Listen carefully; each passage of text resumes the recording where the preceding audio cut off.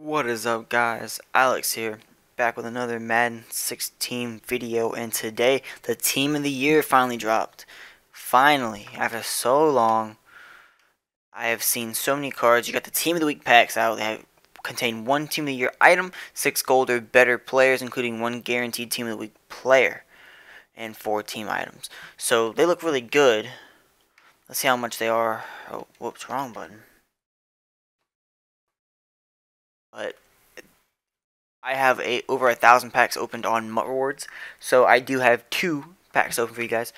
They have a 15 bundle with one elite team of the year player and one elite team of the week topper, and we have the three pack bundle that gives you three team of the year packs, one bundle topper that gives you two team of the year items.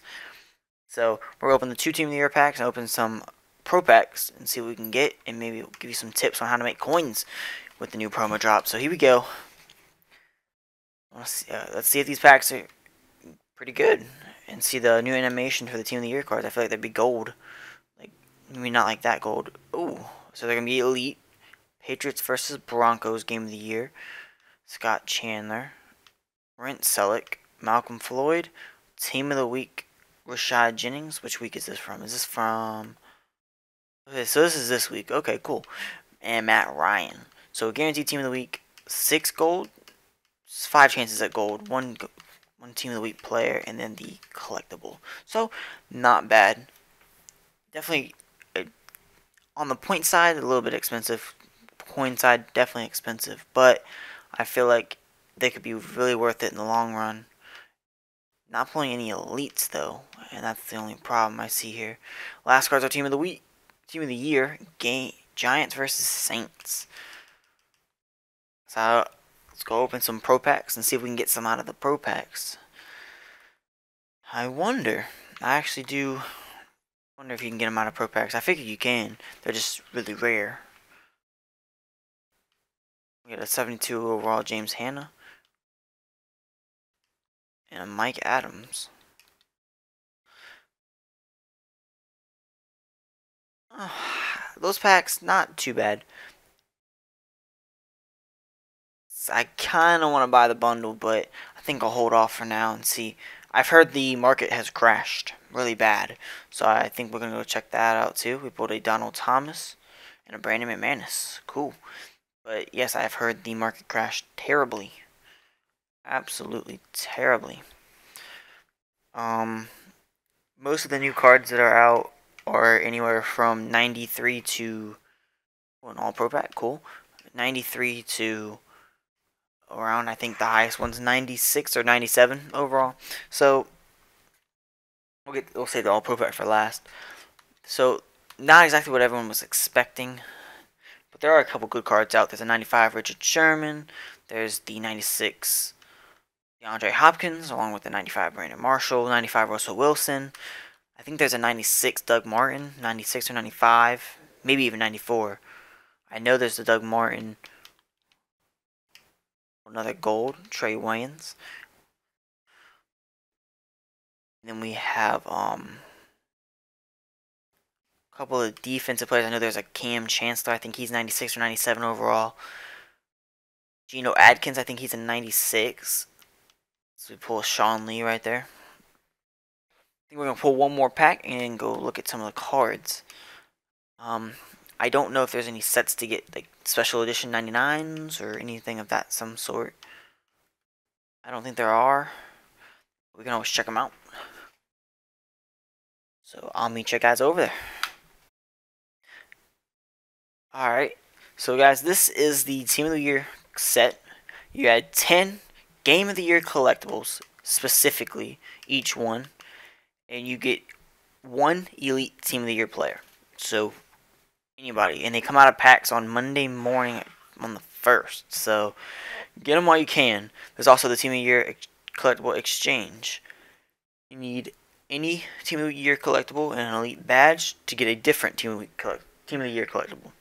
And then there's a Team of the Year redemption, which I don't think is new, but you put the, the you do all the solos for the Team of the Weeks every week, and you put it in there, and it gives you a free Team of the Year player. So let's go check out some of the players. Alright, we got some of the players. We got a 94 Dan Bailey, which kind of stuck out with only 95 kick power, so not too good. But this is the Geno Atkins that I saw. He's got the same picture as the Team of the Week card, uh, hero card, back from somewhere around week 13, I think. Somewhere close to there. And 82 speed, which is really good for a defensive tackle. 97 power move with a 93 block shed. Real, actually, a really, really good card. We've got Brian Bulaga 97 pass block and 91 run block along with a 92 impact block and 90 strength so not too bad on the right tackle and then this is the card I have been eyeing since I got on the auction block 97 overall Kam Chancellor 93 speed 100 hit power 93 pursuit with an 87 zone 87 tackle I mean his hit power and stuff is nice but his cover stats could be a little better but he's definitely a good user card. Definitely, for sure, for sure, for sure. Definitely a good user card. So, if you have a chance to pick him up, I think it would be a good pickup. Maybe for the right price, depending on, you know, we'll have to see how the market goes. We got the Jamie Collins. I think he'll probably have really good zone coverage. 89 speed, 92 hit power, 97 pursuit, 95 tackle, and what is his zone coverage? 76 catching. That's pretty good for a linebacker. And he has 90 zone coverage. So this dude is, oh, he's your dream linebacker. I mean, he can blitz. He can, you can put him back in coverage. I mean, he can do everything. So definitely, he'd be one of the ones, main ones to pick up. You also have Aaron Donald, the second defensive tackle, 84 speed, 94 pursuit, 93 block shed, 93 tackle, 94 power move. Definitely a decent card with 95 strength too. Definitely a good budget compared to Geno Atkins and maybe some of the legend defensive tackles. We got Tyler Eifert, which is one of the lower costing ones. 89 speed, 96 spec catch, 95 catching, 93 catching traffic with a 91 release and 85 route running. So route running a little bit on the low, but everything else looks to be decent maybe for the price, he'd definitely be a good pickup. Johnny Hekker from the Rams, the punter. 98 kick power definitely would be one of the cards to pick up, in my opinion. if you have the coins to to splurge on one, I mean, it's just ridiculous. 98 kick power, 98 accuracy. I mean, wow. With a 72 speed, that's ridiculous. You have DeAndre Hopkins, who's gonna I haven't seen the stats yet, but I feel like he's gonna be monstrous. 99 catching traffic, 98 release, 94 speed, 6'1, 96 route running, 98 catching with a 95 jump. What this is a good card. Let's compare him to Brandon Marshall team of the week. And I mean he just completely demolishes them in every stat.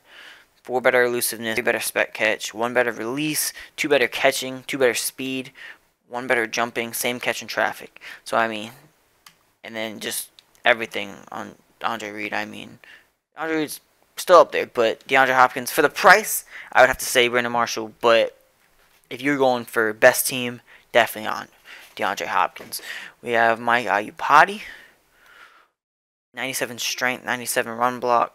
Not so, not really good pass block. So I don't know if I would pick him up for too much. I see he's already going for around 75,000, 90,000. So definitely think about it. And we have a couple other cards. We got the 95 Brandon Marshall we can compare to the 93 Team of the Week.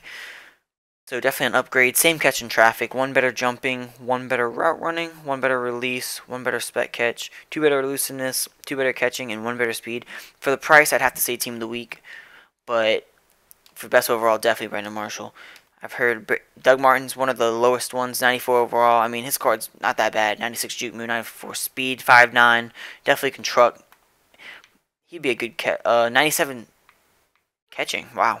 And 96 carrying. Definitely a good card to have with 84 strength. So I don't see him fumbling too much. Of course, there's always those accidents, but definitely not going to be fumbling 24-7. Here's the Richard Sherman. 99 zone coverage. Of course, Richard Sherman isn't the fastest type of guy, so definitely 93 speed. Be risky to put him back there against some of the receivers in the game now, but with the 99 zone, 88 catching, with 94 man coverage, you might have to. It might be a good idea to do it. For the price, I'd wait, see how the market goes. I think he's going to end up going down Aqib Talib, I feel like this card's really good. 92 speed. Eh, alright. 96 zone coverage, 97 press. 97 press is going to be basically the main point on this card with 84 catching. That's another good one. Um, Joe Thomas, Marshall Yanda, and here's the Russell Wilson. We'll go ahead and compare him to Donovan McNabb, 95 overall. So he's faster by 5 points, same awareness, better throw power by 2, but Donovan McNabb basically is better than all the throwing sacks except for on the run, where Russell Wilson beats him by 4. But I mean, McNabb's got one better play action, two better deep, three better mid, and one better short. So it looks like I would, I honestly, in my opinion, I'd end up going with McNabb. He, he's a uh, definitely a little cheaper. He's got three better carrying along with uh, 11 better strength, so he's not going to fumble as much. But being a quarterback, if you take a hit, there's always that chance.